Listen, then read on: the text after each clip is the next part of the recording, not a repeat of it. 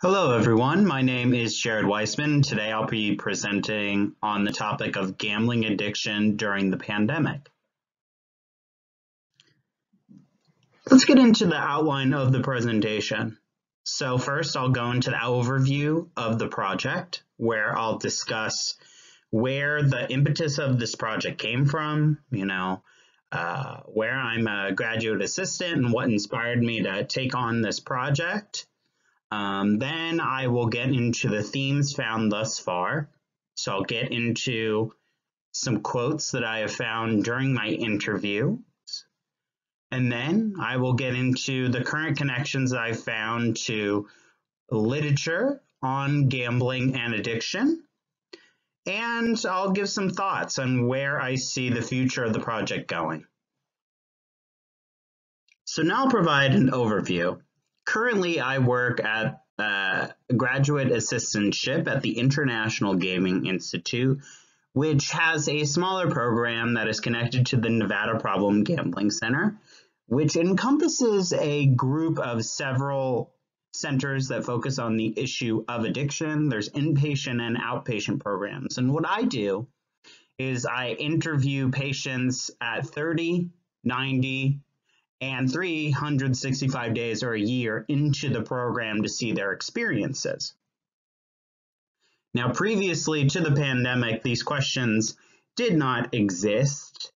And my colleague Andy initially conceptualized the questions. I may have made a couple uh, little changes, but they were at the forefront of creating the question. The question I focus on for this topic is I ask the individuals towards the end of the survey, which is initially a more quantitative survey, but then opens up to, to a more open-ended interview. Do you fear there is a significant effect from the COVID-19 pandemic on your relationship to gambling and or your road to recovery? And the reason uh, we thought this was important has to do with the initial context of the closures of the casinos in Nevada from mid March until June 2020. But the effects didn't really stop there. The pandemic is still going on, so this is ongoing research. Um, overall, so far, I've done, included in here is elements and snippets of 110 interviews thus far. I think now I'm at around 126, but I hope to get to 300 by June. Uh, these are preliminary findings. I am still working on this project and becoming more and more uh, caught up in understanding of the issues of this topic. So that is what is going on. So what I've done thus far in thinking about this project is come up with some themes that attach to the survey questions that I've done thus far. Specifically, we'll be getting into that first question where I talk about people's experiences and if there is a significant effect from COVID-19. One of the major elements that came up was the loneliness that came from COVID-19.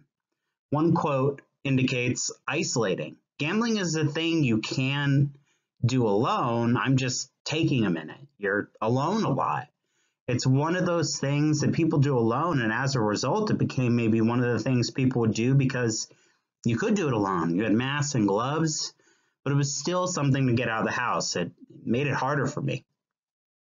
This person is having a reckoning with gambling its connection to loneliness overall but even just getting out of the house during the pandemic kind of soothes that element of loneliness Another quote says, the isolation was the cause for relapse and does not help existing addictions. This person was really struggling. Um, had a relapse directly connected to that isolation. The challenge is less of us have less socialization. The escape that addiction provides is more tempting. If we have the balance and varied life, maybe we're not as tempted. We're all little nuts, and the casino is an escape and smoke a cigar in there too. This person directly connects sort of their identity and idea of addiction to this issue of having less socialization. Not necessarily directly here, but we were talking about the pandemic, but they talked about the addiction feeding into that need for socialization and gambling handling that sort of issue. The next theme that came up was financial woes, stress, and anxiety connected to the COVID 19 pandemic. One of the quotes indicates, yes, because I got laid off because of the pandemic. It was the instigator of the financial crisis. I would have never gone. My income took a cut, but my gambling stayed the same or got worse because of free time. No money to take care of what I needed, so it snowballed. The job loss because of the pandemic was an instigator related to rock bottom to seek help. This kind of indicates that there's positives and negatives that come up because of the pandemic. This person hit a terrible element of their life with the rock bottom, but they were able to kind of have that moment of clarity and find an ability to get the help they needed uh, with less money coming through with the pandemic. I don't know. It's, you know, I made a lot of things stressful, and gambling is how I deal with most of my problems. Throw some money in the machine. That's how I cope with it. It's been a stressful couple of years for sure. Another person said, 100% yes. I stopped gambling in 2019, then um, the pandemic hit and struck home. I was working and the anxiety picked up, and I started gambling to go up uh, to deal with some of the previous issues. Nothing helped much except to go out and gambling. I was just, I felt trapped. My head was spinning, spinning at home. This person seems like the pandemic really affected them and the anxiety picked up and the way they dealt with it was to go out and gamble. Absolutely. I was dry for a year, then the pandemic hit. They said you could go play. This is ironic. I didn't play for 12 months. Something in your brain says it's not so bad. I started to play. In three months, I played. I did so much damage. Now you come and can't come out, and now I can. I tried to make amends, and it was worse. It's been so bad. This is something that we'll talk more about in the next slide, but because the casinos closed down, there was that shutdown, people not able to go out and gamble in person. Once they did, a lot of the participants I did talk to would go back out and either go on binges or gamble just as much as before. The next topic has to do specifically with the casino shutdown.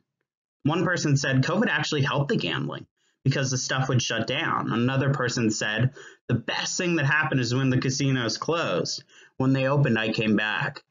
In general, when I talked to people, it was very rare to find people that after the pandemic and things closed down, they wouldn't go back into the, gambling, even if they hadn't gambled online.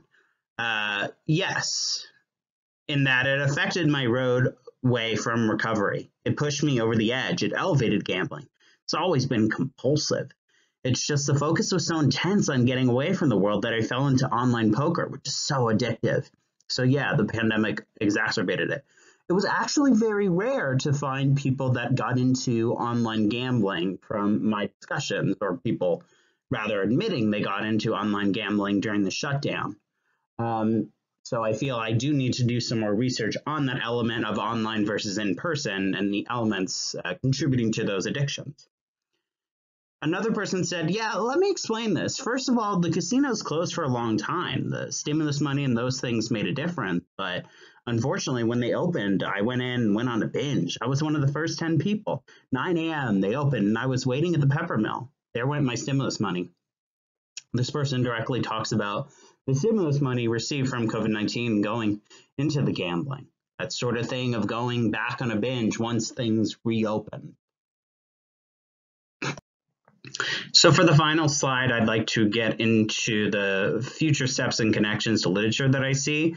One major connection to literature I saw was the idea of collective trauma. COVID-19 as this collective trauma, and collective trauma has to do with a major connecting event between people that affects people in different ways, but in a way provides damage, trauma, issues, and it's an ongoing trauma. And I think that's very compelling to this issue of gambling addiction as trauma directly ties into gambling addiction.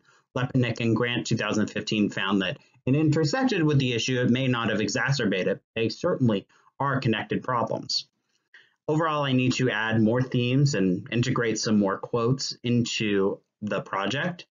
And I need to get a better overall understanding of the different interpretations of gambling as an addiction. I'm still learning about this topic. I'm not classically trained in the issue, but I think I've definitely made some progress. I want to thank you all for your time, and I hope you enjoy the rest of the projects here today.